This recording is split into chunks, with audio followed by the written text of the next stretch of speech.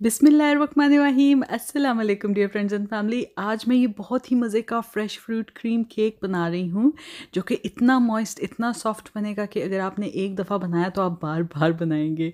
तो अगर मेरे चैनल पे नए हैं तो प्लीज़ सब्सक्राइब करना ना भूलिएगा। तो रेसिपी स्टार्ट करते हैं। इसके लिए मैंने प्लेन फ्लावर ले लिया है जी सिक्सटी ग्राम्स। फिर मैंने जो है वो चीनी ली है फिफ्टी ग्राम्स के करीब दो अदद मैंने अंडे ले लिए हैं बड़े बड़े से। और उसके अलावा वनीला एसेंस मैं लूँगी जी, हाफ़ टी स्पून के करीब मैं यूज़ करूँगी और इसके अलावा वन थर्ड जो है टी स्पून बेकिंग पाउडर है।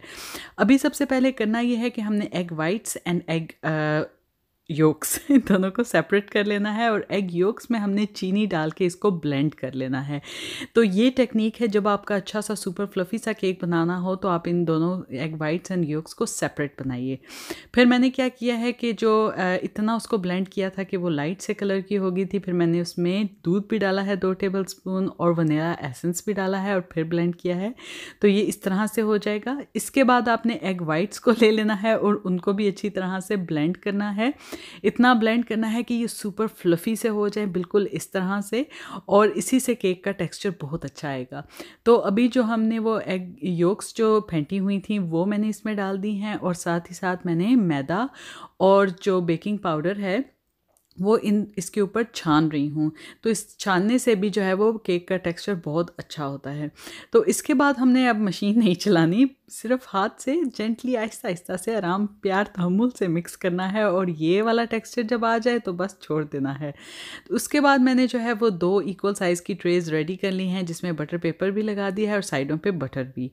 तो अभी जो है मैं इन दोनों में जो है वो इक्वली डाल रही हूँ केक का बैटर और इस तरह से टैप कर रही हूँ और इसके बाद हम इसको बेक करेंगे टेन टू ट्वेल्व मिनट्स के लिए थ्री डिग्री फ़ॉरन हाइट पे। फिर आपने क्या करना है? अपने फ्रूट्स को रेडी करना है। फ्रूट्स में आप कुछ भी ले सकते हैं। मैंने थ्री कीवी फ्रूट्स ले ली हैं, सात आठ मैंने स्ट्रॉबेरीज़ ले ली हैं। कुछ जो है वो मैंने ब्लूबेरीज़ ले ली हैं, दो तीन टेबल स्पून के करीब और उसके अलावा तीन चार पीस मैंने लिए हैं पाइन के। फ्रूट्स में आप जो भी सीजनल फ्रूट्स हैं, आप यूज़ कीजिए। आजकल मैंगोज़ बहुत अच्छे आए हुए हैं। वो ज़रूर यूज़ कीजिएगा। यूके में आजकल इतने अच्छे मैंगोज़ अभी आए नहीं हैं, इसलिए मैंने वो स्किप कर दिया है। तो अभी जो है मैं इसको छोटा छोटा सा काट रही हूँ। कीवी फ्रूट को इस तरह से आप काट लीजिए और कुछ आप स्लाइसेस जो हैं वो गोल काट लीजिए गार्निशिंग के लिए यूज़ होंगे। फिर स्ट्रॉबेरीज़ भी आप इसी तरह से छोटे छोटे पीसीज में काट लीजिए और कुछ आप इसी तरह से साबत रहने जो, दें जो गार्निशिंग में आप यूज़ करें। या फिर अगर आपको क्रिएटिविटी दिखानी है तो अपनी मर्ज़ी से उसकी गार्निशिंग कीजिए। तो बस ये सारा फ्रूट रेडी है, इसको एक बोल में मैं निकाल के साइड पर रख रही हूँ। फिर हम जी क्या करेंगे? इसके ऊपर ये मैं ब्लूबेरीज़ भी डाल रही हूँ ताकि हम इस फ्रूट को मिक्स करके रख लें साइड पे। फिर यहाँ पे आइसिंग यूज़ आइसिंग के लिए मैंने विपिंग क्रीम ली है 280 एटी और icing sugar two three two four tablespoon अब मैंने क्या किया है कि इसको जो है वो क्रीम को पहले ब्लेंड करना शुरू किया है। विपिंग क्रीम बनाने की टेक्निक यही होती है कि आप क्रीम को आधा घंटा पहले जो है वो फ्रीज़र में रखते हैं, तब वो बहुत अच्छी बनती है। और फिर मैंने इसमें आइसिंग शुगर भी डाल दी है और फिर मैंने इसको विप किया है दो मिनट के लिए और ये काफ़ी थिक सी हो गई थी। तो जब इसकी वो स्प्रेड करने वाली अच्छी सी कंसिस्टेंसी हो जाए थिक वाली तो आपने मशीन रोक देनी है। आप इसको हैंड ब्लेंडर से भी कर सकते हैं, कोई मसला नहीं है।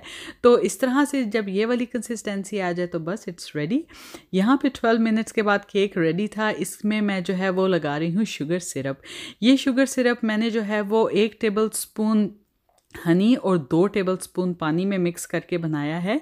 तो इस तरह से आप बना लीजिए और तकरीबन दो दो टेबलस्पून आपने ये लगाना है ईच लेयर पे और उसके बाद ऊपर आपने क्रीम से कवर करना है और फिर मैंने जो है इसके ऊपर डाला है जी फ्रूट दिल खोल के फ्रूट डालिए, जितना आपका दिल करे, क्योंकि ये है तो फ्रूट केक तो फिर, इसमें जितना आपका दिल करे, आराम से, प्यार तहमुल से डाल के फ्रूट और ऊपर आपने क्रीम स्प्रेड करनी है। इतनी स्प्रेड करनी है कि सारा का सारा फ्रूट जो है वो कवर हो जाए और उसके बाद क्या करना है?